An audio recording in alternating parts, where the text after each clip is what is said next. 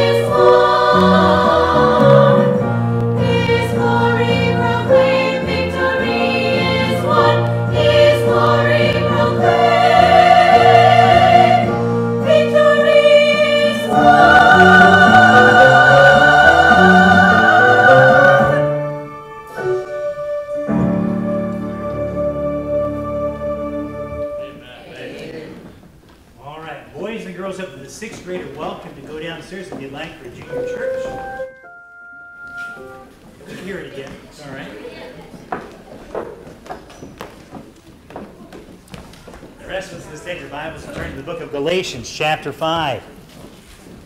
Galatians, chapter 5.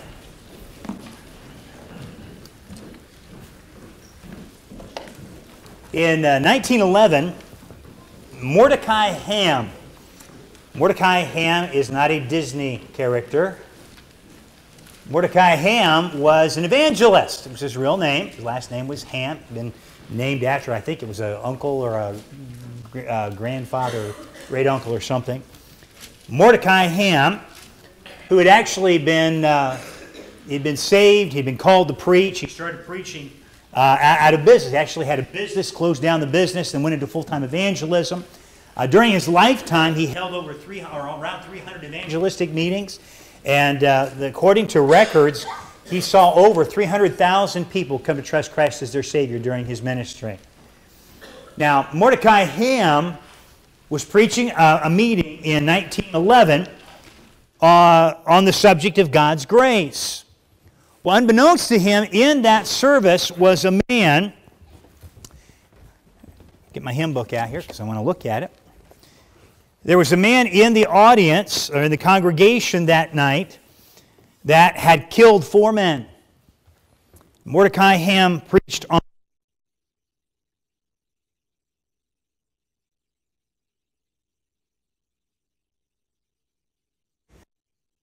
And he started yelling, Saved, saved. He got that excited. Well, in the service was also Jack Schofield. Schofield not, has nothing to do with the Scofield Bible. Jack Schofield was actually Mordecai Ham's song leader, his music man. When that man got up and started yelling after his salvation, saved, saved, saved.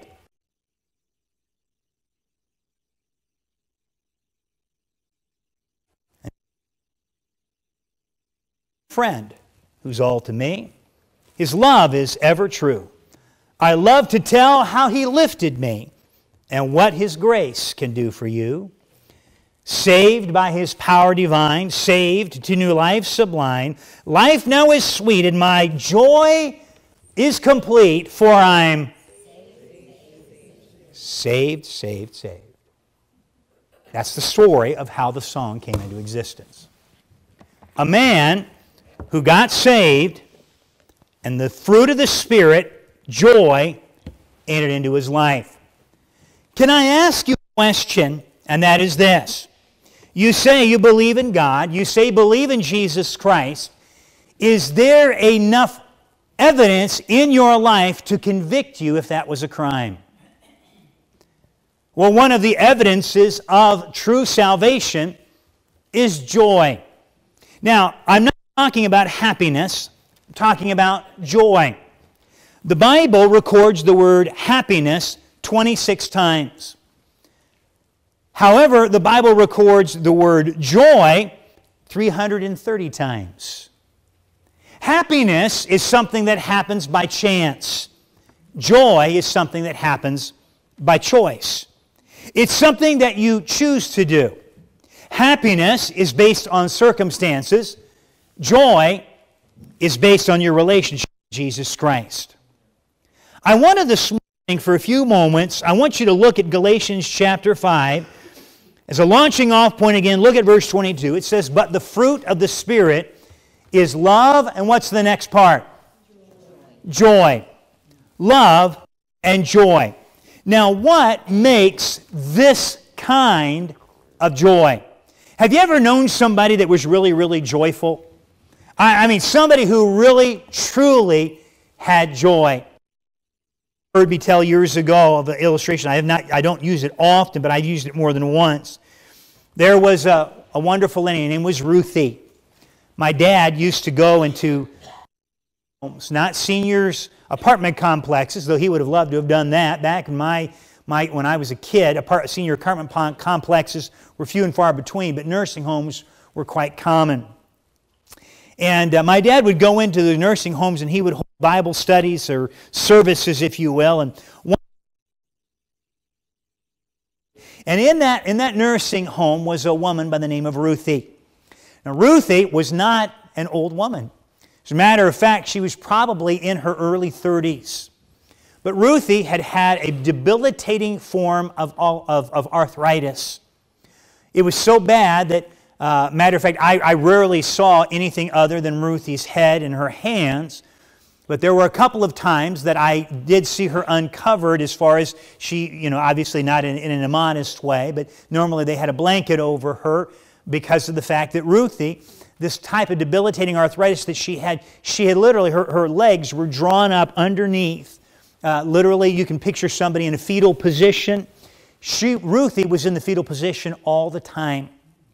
Her knees were drawn up under her and her hands were like this. And I can remember one of her hands was, was turned way inside and she could not move her joints. Because to move her joints, she would have been in excruciating pain from the, from the moving of the joints. And I, I remember going into that nursing home with my dad for years. I watched Ruthie week after week after week that my dad would go in there and have a, have a service. And my dad would go over to Ruthie. He'd reach down and he'd grab her hand and he'd, he'd shake her hand. Now, I will tell you this some people, you do not ask them how they're doing because they'll tell you. Now, don't, I don't mean that in the wrong sense. I mean, they're going to tell you the absolute truth. How you doing today? Well, okay, I guess. My dad didn't have a problem asking Ruthie. Ruthie always had the same answer. She'd say, just praise in the Lord. There was a joy on her face. Folks, that was 40 years ago. I can still to this day picture Ruthie's face. I can still see the smile on her face. I think it was permanently etched onto her face. Because I don't, I honestly, week after week, month after month, year after year, never remember Ruthie not smiling. Now, maybe it was the arthritis, maybe it, you know. I don't know. I never heard Ruthie ever one time ever complain. Even though she had to have been in excruciating pain. She may not have had happiness, but she had joy.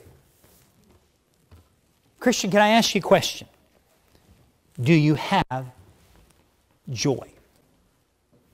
I'm not asking, are you happy? Some of y'all remember the illustration years back. Happy. So you've got a whole new generation that doesn't even know this illustration. I'm happy. Do I look happy to you? No. You're judging me.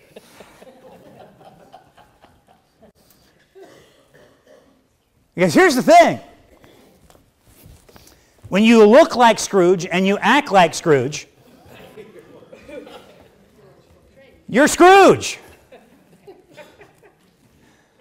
Joy. Do you have joy? Couple of thoughts.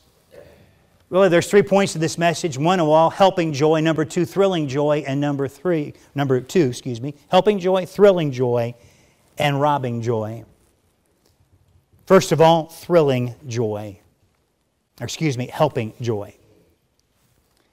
Helping joy for what? Helping by God's presence. Are you happy? Are you joy? And again, I, I'm going to try to be very careful not to interchange the words joyful and happy because they are two different things. Happiness, again, is something that you happens to you, and you know you heard a good joke, therefore it makes you laugh. Joy is something that no matter what the circumstances of your life, you recognize that God is real. Folks, are you joyful that God's presence is in your life? See, here's the thing is you have some people that say they're Christians, but in all honesty, if they actually were in the presence of God, the way that they recognize that they were in the presence of God, the way that they really were, they wouldn't be happy. They wouldn't be joyful. They're, they're living their lives in such a way that to be in the presence of God is not comfortable. See, God, His presence, helps us to have joy. I would say this where there is no grace, there is no joy. Number two, not only does joy help in God's presence, but also helping joy helps our perspective. I want you to take your Bibles and turn back to James chapter 1.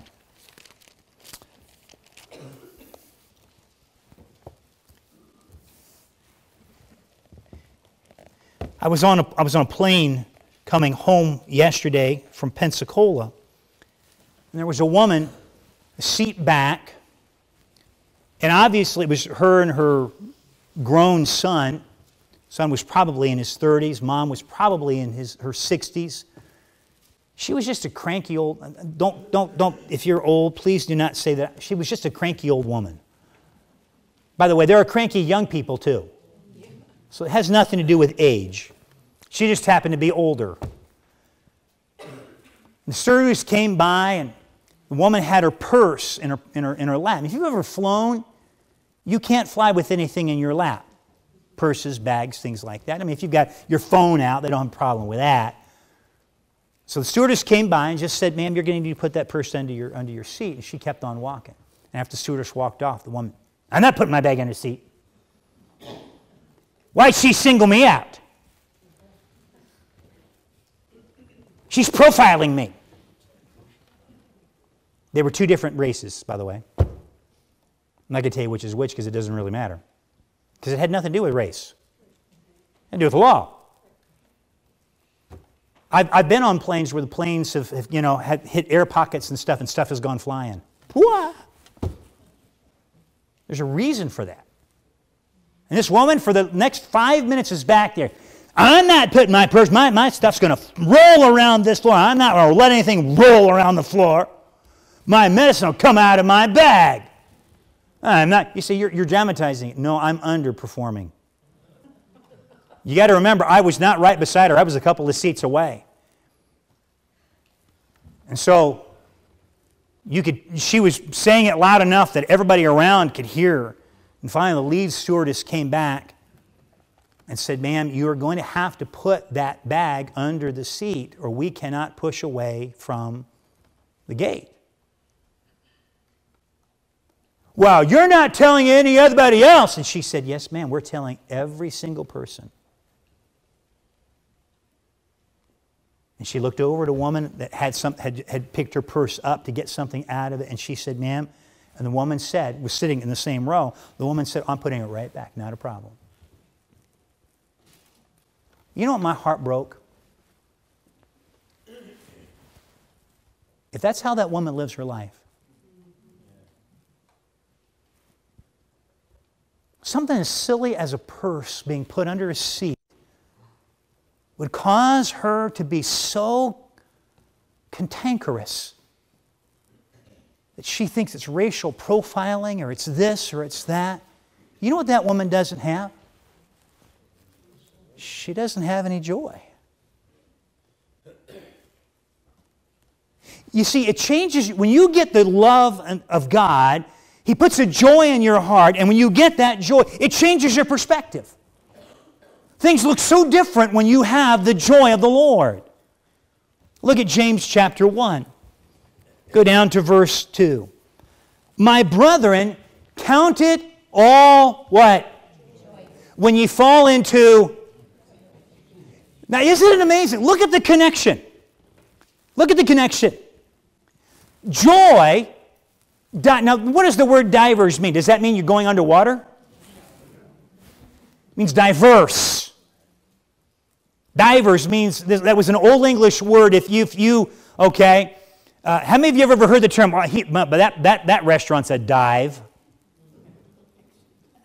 What does it mean? It means it's one that's out of the ordinary. It's kind of out of place. It, it became synonymous with kind of a dirty place. But that's, it, it has to do with the idea that it comes from the form divers in Old English, which the word divers means something that's diverse. That's where the uh, word of diversity comes from. Diverse temptations.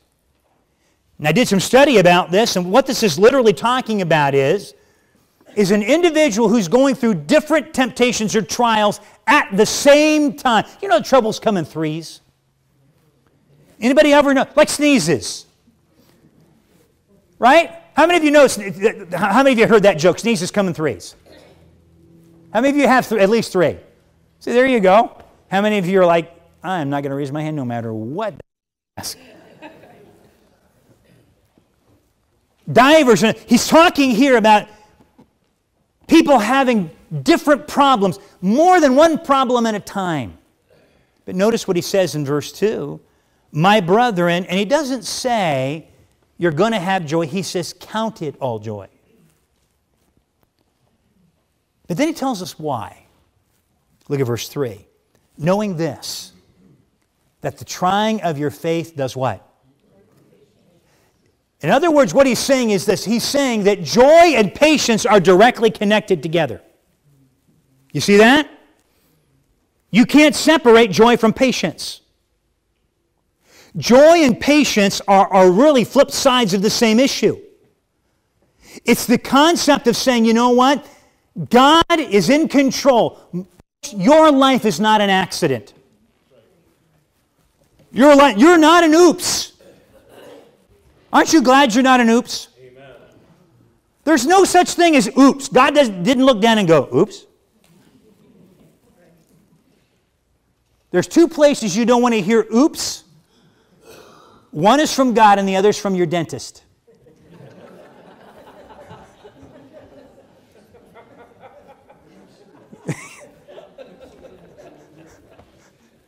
you don't hear your dentist go, oops.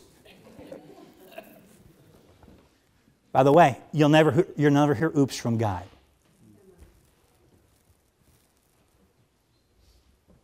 Folks, you're not a mistake. You're not a mistake.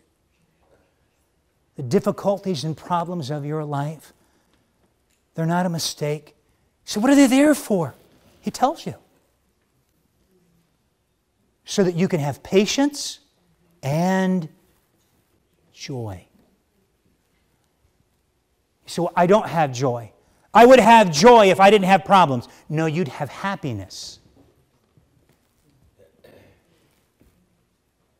When you don't have problems, you can have happiness. But joy is changing of the perspective. Uh, take your Bibles and go back to Romans chapter 8. Again, this is a verse that I know you know well. Some of you have it memorized, but bear with me. Romans chapter 8 and verse 28 says what? And we know that what? All things work together for what? To them that love God, to them who are the called according to what? In other words, God has a purpose for your life. Look, things don't just happen. I understand. I, I, was the other day. I can't remember where it was. I saw this one of the lottos, maybe New York. Their tagline is, "Hey, you never know." Is that New York's lotto? Is it? Or at least, it, hey, you never know. I know. I know I'm not going to win. Can I tell you how I know I'm not going to win? Because I ain't playing. That's how I know I'm not going to win. I'm not playing. I've got five bucks in my pocket and I'm not giving it to Governor Cuomo through the lotto. I may give it to him for taxes, but I ain't going to give him to the lotto. Here's the thing there's no accidents. I understand we have free will. I understand people have free will in things that they do toward us. I get that. This whole message within itself. But here's what joy does it changes our perspective. It helps us to understand that Christ is in control, that all things really do work together for good. Even those things that we look at and say, How could this be good? God says, I'm working it for good. By the way, it does not say in this verse that everything is good. It says everything works together for good. The end result is good, not the individual elements. You've heard me use the cake illustration, so I'm not going to go there. But I want to look at one other verse. Go back to 1 Peter chapter 4. 1 Peter chapter 4. See, what does joy do? It helps us, it's, it's helping joy. It helps us into God's presence, it helps us to gain perspective. If you want to say God's perspective, you could say that. 1 Peter chapter 4, go down if you would for sake of time. Let's just go, go right down to verse 12. 1 Peter 4 12, it says, Beloved.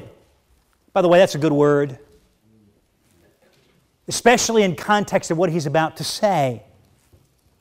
Beloved, think it not strange concerning the fiery trial which is to try you, as though some strange thing happened unto you.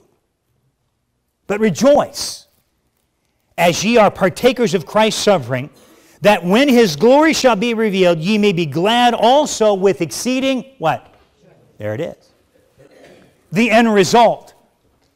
Can I ask a question? Was Jesus Christ dying on the cross a good thing? Yes. Okay, let me try that again. The answer is yes. I'll help you out for those that are struggling with the answer.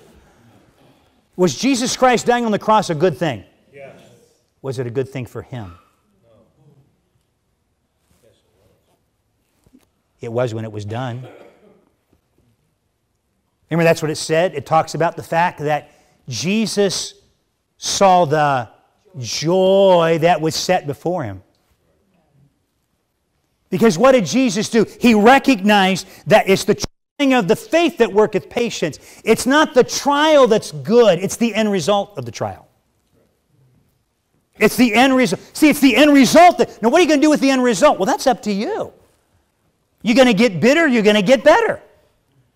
You're going to look and say, Oh, I can't believe God put that into my life. Or, God, you must be teaching me something good.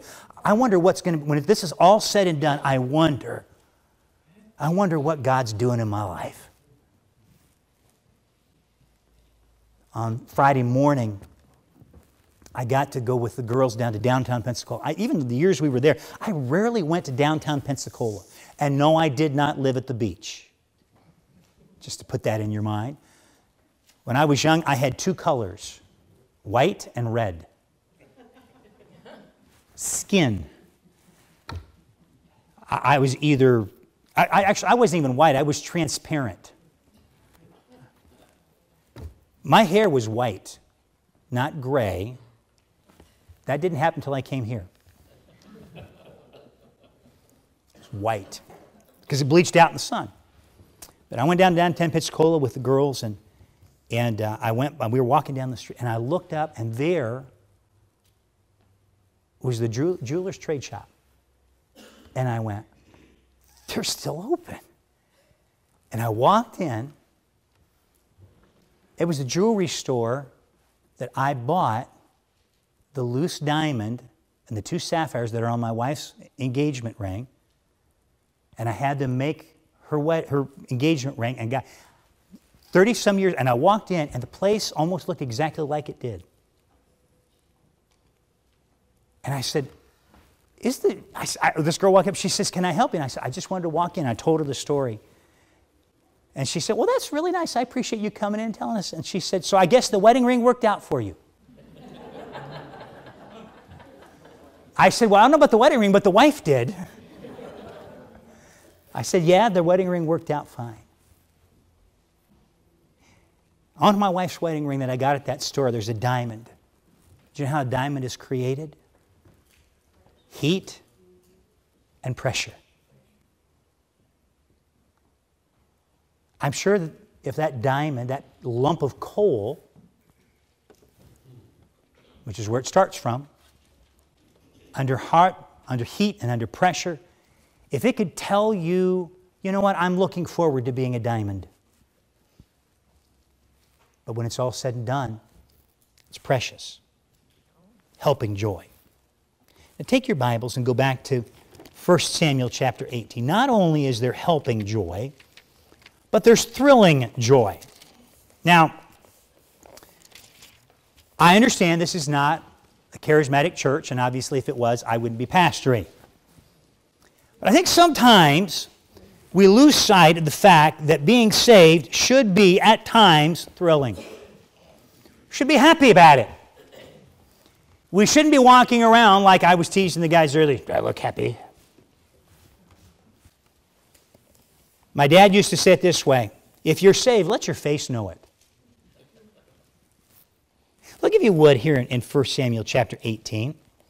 Let's go down to verse 6. Or verse 5, for sake of context. What's happened is, 1 Samuel chapter 18, verse 5, sorry. What's happened is, is, is there's been a great victory. Look at verse 5. It says, And David went out whithersoever Saul sent him and behaved himself wisely. And Saul set him over the men of war, and he was accepted in the sight of all the people and also in the sight of Saul's servants. In other words, he was, David was beloved by all. There was only one person in the country who didn't like him. You know who that was? Saul. And the reason that Saul didn't like him is because he was what? He was jealous. He was jealous and afraid of him. He, he, he, was, he was concerned that David was going to take over the country. David was as loyal to Saul as anybody he had. Saul was afraid, and jealous, and fearful. Look at verse 6.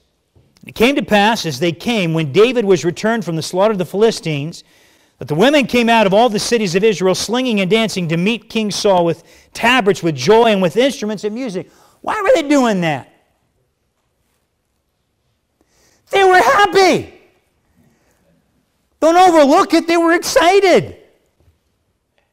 Yesterday, again, or for Thursday morning, one of the, beforehand, Dr. Rushing, who heads up the ministerial department, he said, All right, he says, I'm going to take five guys, I'm going to give you 10 seconds to give me a praise. He said, Don't normally do this. We don't have any announcements. So I'm going to take five guys, 10 seconds apiece to give me a praise.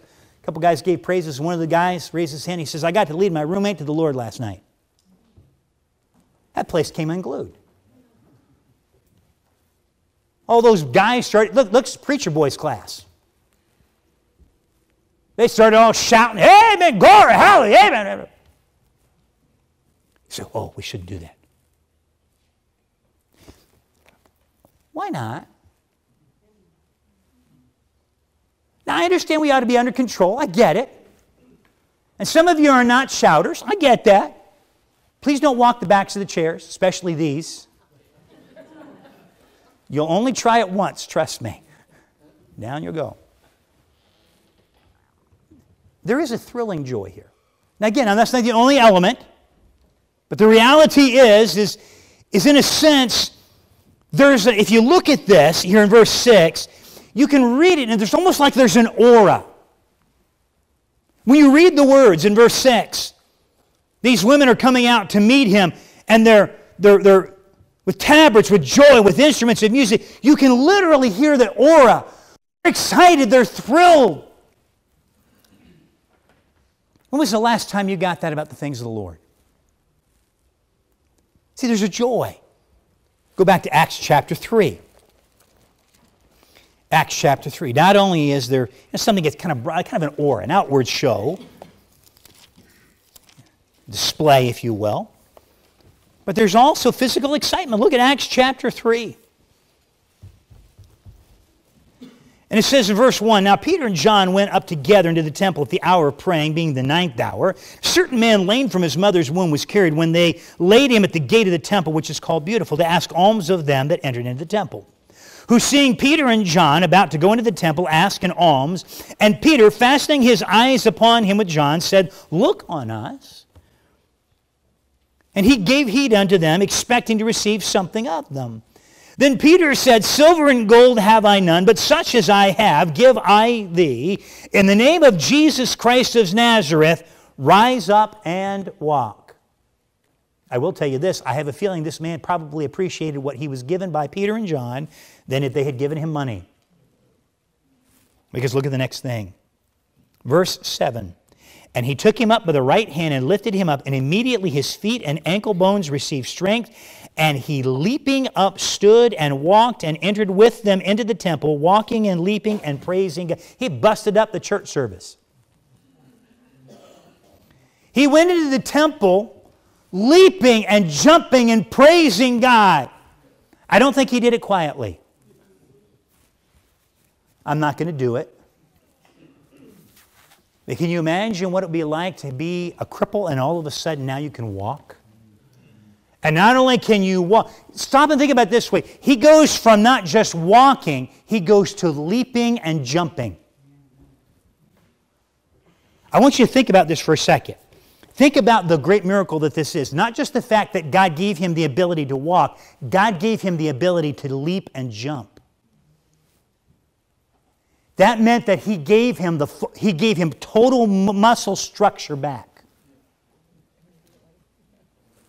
How many of you have ever had, where, where um, anybody ever had, who's had a, had a cast on recently? Anybody in the room had a cast on recently? Dina over here.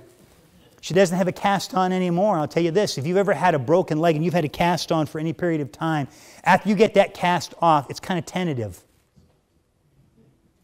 This man from, went from being not able to walk to leaping and jumping.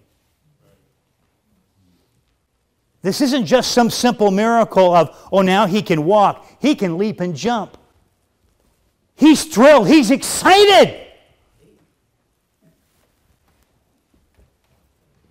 It's thrilling joy. Go back to John chapter 15.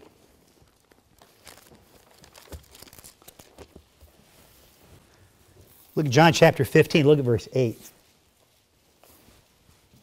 Jesus is talking about being in Christ, being in Him, being part of the true vine. And he says in, in, John chapter 15, verse 8, Herein is my Father glorified that ye bear much fruit. So shall ye be my disciples. As the Father hath loved me, so have I loved you. Continue ye my love. If ye keep my commandments, ye shall abide in my love. And by the way, notice the connection between his love and joy in just a second here. Because remember, look at the fruit. Remember the fruit? What's the first part of the fruit in, in, in Galatians chapter 6 or Galatians chapter 5? Okay, what's the second one? Okay, look, they're connected right here. They're connected there and they're connected here. He says, if you, if you keep my commandments, you shall abide in my love, even as I have kept my Father's commandments and abide in his love. Verse 11. These things have I spoken unto you that my joy might remain in you, and that your joy might be. This is my commandment that ye love one another as I have loved you. There's a direct connection between understanding the love of God and the joy that he's talking about. And it's interesting if you were to look at this, this idea of this joy, this is, again, it's, it's an active joy. It's not just this joy of, uh, look, I feel it, because if you look here in John chapter 15, what is he saying? Because you love me, what are you going to do? You're going to keep my commandments. You're going to do what I, what I want you to do. Can I tell you something? I don't have a problem going to church. I'm not trying to be mean towards you, okay? Please do not get angry with me, but I'm just going to tell you, I'm just going to be really plain. I'm supposed to tell the truth because I'm in church. I like going to church.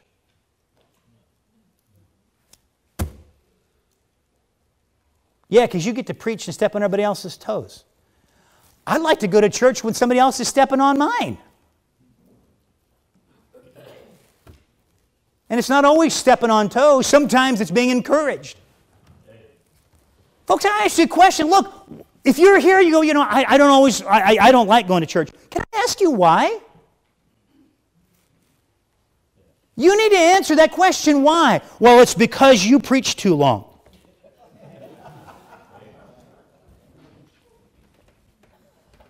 Okay. Come Sunday afternoon, I preach shorter. Come Wednesday night, I even preach shorter there. Come to Sunday school. Hint, hint, hint. I'm on the clock. Look, I got a question. Why don't we go? Why don't we enjoy that? Well, to be honest with you, it's because sometimes it's because we have a greater love for something else than we do the Word of God. See, here, you're going to find that when we love God and His Word, there's a joy there. They go together. It's thrilling. But let's go back to Psalm 51. Not only is this there is there helping joy and thrilling joy, but when I say robbing joy, I don't mean that there is a joy that robs us. I'm saying there are things that rob us of our joy. So here's what I want to do for the, la- for the next few minutes, and then I will be done. I want to I go over real quickly what are some things that rob us of our joy. Well, look at, at Psalm 51 and look down, if you would, at verse 12. Here you have David writing, and he says, down in verse 12, Restore unto me the what? Of thy salvation. You know why he lost his joy? Because of sin. The sin he's talking about here, actually, my, my, my, yours may not have this as kind of a subheading, but under Psalm 51, mine says that, my, my Bible says this a plea for forgiveness. To the chief musician, a psalm of David when Nathan the prophet came unto him after he had gone in to Bathsheba. This is Psalm 51 is David's prayer praying to God, Lord, I've sinned against you and I want you to restore the joy of my salvation. What had stolen his joy? His own sin. Can you be honest enough can you, will, will you be honest enough to say that maybe the reason you do not have the joy of the Lord is because there's some sin that's robbing you of it? Is that possible? Is it possible that there may be, you know, I don't have the joy of the Lord. I'm saved. I know that I'm saved. I, I truly believe that I'm saved. I know that I'm saved, but I don't have that joy. Is it possible that you've let a sin get so seated into your life that it's stealing your joy? Second of all, take your Bibles and turn back to Philippians chapter 4.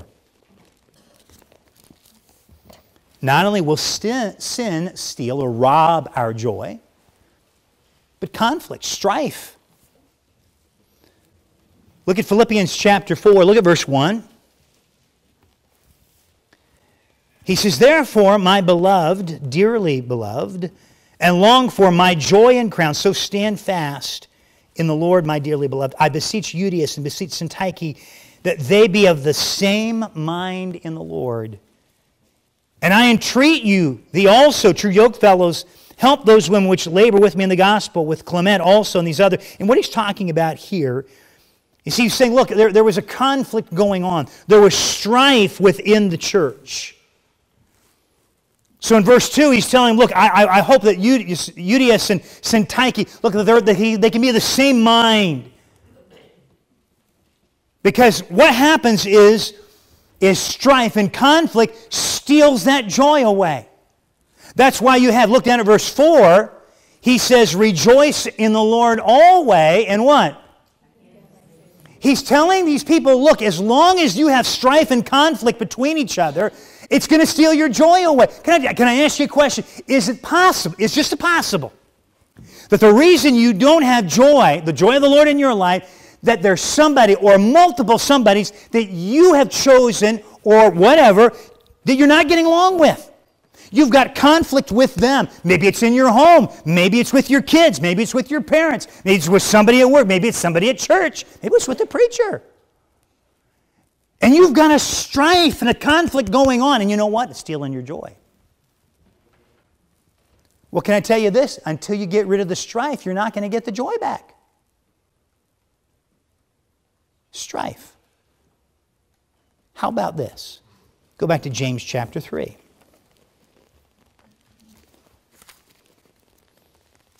James chapter 3. What are some things that steal our joy? Well, sin, strife. Look at James chapter 3.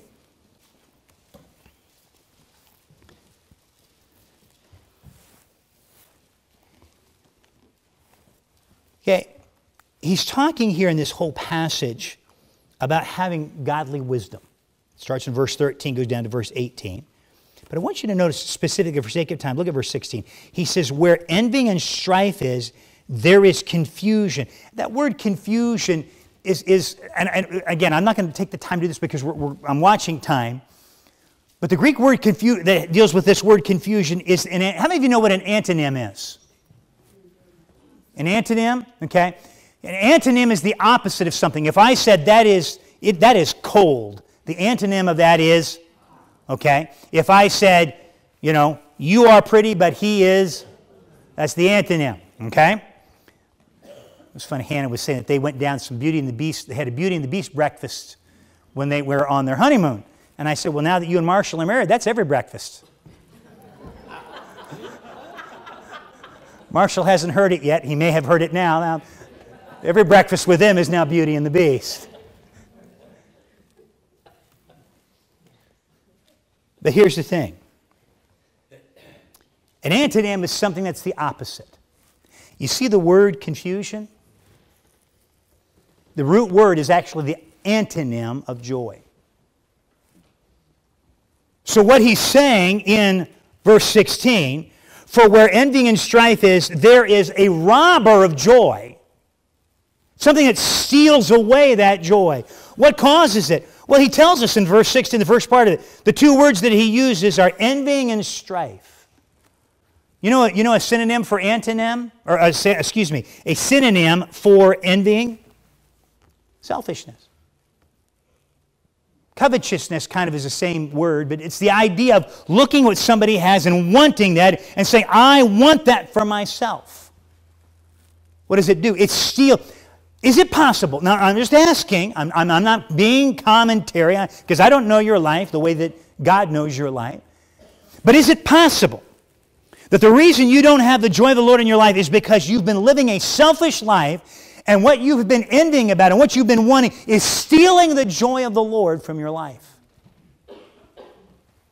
Go back to Hebrews chapter 12.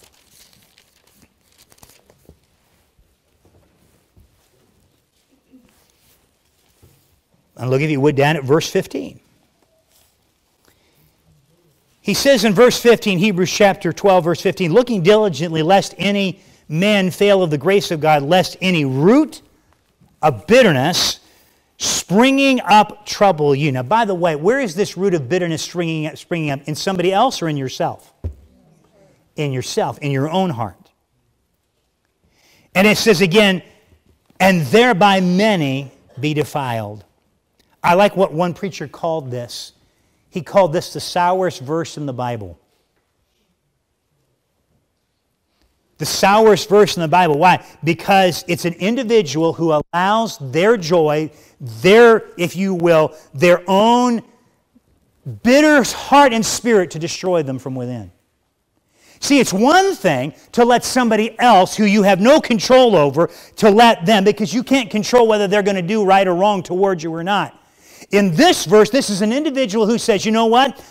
I'm going to let bitterness stay in my life. I'm going to let that unforgiveness stay in my life, and I'm going to let it sour me. The other day, we were, we were doing some cleaning out. Actually, I wasn't, my wife was. But I walked into the room and she was looking at something, and I had bought a, a packet when I was doing low carb, these, a packet of these pickles that are, I can't remember what they're called, but it's a, like a foil bag that's sealed at the top, and they've got you 15, 20 pickles in them and they have zero carbs. Well, she picked it up and she, I saw it, she moved it and I, I, looked at it and I thought, that's weird. It looks like one of those pickles. So I picked it up, sure enough, it was one of those pickles. And it had ballooned out like a pillow. And I looked at it and I said, I thought those were supposed to be refrigerated. So I flipped the bag around and sure enough, it says, keep refrigerated. And I thought, I wonder if these are, I'm thinking, and then I looked at the date. Best By, it was like 2018 or something. I can tell you this if I opened that bag up, those dill pickles would have been sour. Because you know, what you know what those pickles have been doing? They've been festering in their own juices. They've been festering in their own juices. That's what this is talking about an individual who's festering in their own juices, they're bitter in their own heart. I'm going to tell you, bitterness will just steal your joy away. And let me show you one last one. Go back to Proverbs chapter 12. What can steal our joy? Well, sin can, strife can, selfishness can, sourness can. I, and I had down in my notes fear, but you could actually, if you want to keep it alliterated, scared. Look at Proverbs chapter 12. Do you know that fear, fear robs you of your joy? Look at verse 25. Heaviness in the heart of man maketh it stoop, but a good work maketh it. And that word heaviness there has to do with the idea of allowing burdens to keep piling on top of you and instead of letting them go. You, you, ever, you ever had an argument with your spouse that they brought up something or you brought up something from five years ago? Here's the problem with that. What, is that. what does that tell your spouse? If you bring up something from five years ago, what has that told your spouse you've been carrying for five years? You've been carrying that burden on you instead of letting it go. You've been allowing that thing to remain on your back. Why? Probably because you've been afraid to get rid of it, because you're afraid of letting it go. And that's really what this word heaviness has to do. It's, it's the idea of, well, the best way to how to describe it, I've, I've said this before, the Hebrew language is a wonderfully expressive language, but it has a lot of emotion in it. Again, this was something that Jonathan Kaiser and I were talking about, about the fact that the, the Greek language is very precise. If you mistranslate the Greek language, you're doing it on purpose. They're in here. For those online, a police car just went by. When he says here in verse 25, heaviness, it's the idea of a hoarder. Okay? How many of you have ever seen these television shows that talk about hoarders? Why are they hoarding? Why are they afraid to let go of stuff? Because they're afraid that one day they'll need it. And there'll come a day that they need it and they don't that's, that's what this word heaviness has to do with. It has to do with the fact of keeping a hold of things because you're afraid that one day you'll need it. But notice what that kind of heaviness does. That heaviness in the heart of man, it makes it, the heart, stoop. I used to say, and I want you to go back as we close here to Galatians chapter 5. Notice what he says in Galatians 5:22 for the fruit of the spirit is love and then what? Joy. All right? Let me give it to you as simply as I can. What is joy? I've heard it said this way. I, I heard it said, and I've said for years until I read something actually just a week or two ago, and I like it better. But I used to say that joy was real simple. It was an acronym Jesus, others, and yourself. Well, that's pretty good. But I found a better one. The J and the Y do stand for Jesus and you. But think of the, Z, the O as a zero. What's between you and Jesus? Nothing. I like it better. Because that's really what joy, because can I tell you this? Sometimes you don't get joy from others. Matter of fact, truth be known, you really don't ever get joy from others. Not the kind of biblical joy we're talking about. Not the kind of biblical joy we're talking about. But you do get this kind of joy from who? From the Lord. When there's nothing between. I'm trying to remember. Let me see. I just it just hit me just a minute ago. Um, yeah, somebody said it. I don't think it's I don't think it's in our hymn book. Is it? What's the title of it? Oh, yep, there it is. Everybody do me a favor. Grab your hymn books and turn to number 464. And here's what we're going to do this morning. We're going to do this two ways. If you're here this morning and you don't know the Lord Jesus Christ as your Savior, it would be a privilege and a joy to talk to you about that. Really would. If you sit here and say, you know what, I, have never had the joy of the Lord in my life, well, I'll tell you where that joy starts. It starts with getting saved. It's where it starts. It's not where it finishes, it's just where it starts. So if you're here this morning, you never trusted Christ as your Savior, can I tell you this? He wants to give you joy. He doesn't want to just give you some kind of passing happiness, He wants to give you an everlasting joy. How does He do that? He does it by showing you His love. For God so loved the world that he gave his only begotten Son, that whosoever believeth in him should not perish, but have what? Everlasting life. Well, that's where the joy starts, by his showing of his love. So if you're here this morning, it would be our privilege to show you. And so when we, what we're going to do in just a second, we're going to actually sing this song as a kind of an invitation prayer, dedication, however you want to say that. And if you're here this morning, you've never trusted Christ as your Savior, it would be a privilege and a joy to talk to you right now. If, you want, if you're willing to step out of the seat and come up the aisle, take you to a quiet place and show you from the Bible how you can have nothing between your soul and the Savior, we would gladly do that. So let me encourage you. Think about what God would have you do. Take your hymn books, 464. Let's stand together. I'm going to have my wife come and play. Uh, or Becky, sorry, I forgot. Yeah, Becky, go ahead. I'm not taking away from her. I forgot. I was thinking Becky couldn't play yet, but she played last week, right? 464, nothing between my soul and the Savior. And this is really what joy is. Joy is when there's nothing between us and the Lord. And that's what we're singing. That's 464. Again, if you're here this morning, you know, you want to know Christ as your Savior, let us talk with you. It'd be a privilege and a joy. Nothing between my soul and the Savior, not of this world's delusive dream. I have renounced all sinful pleasure Jesus is mine, there's nothing between.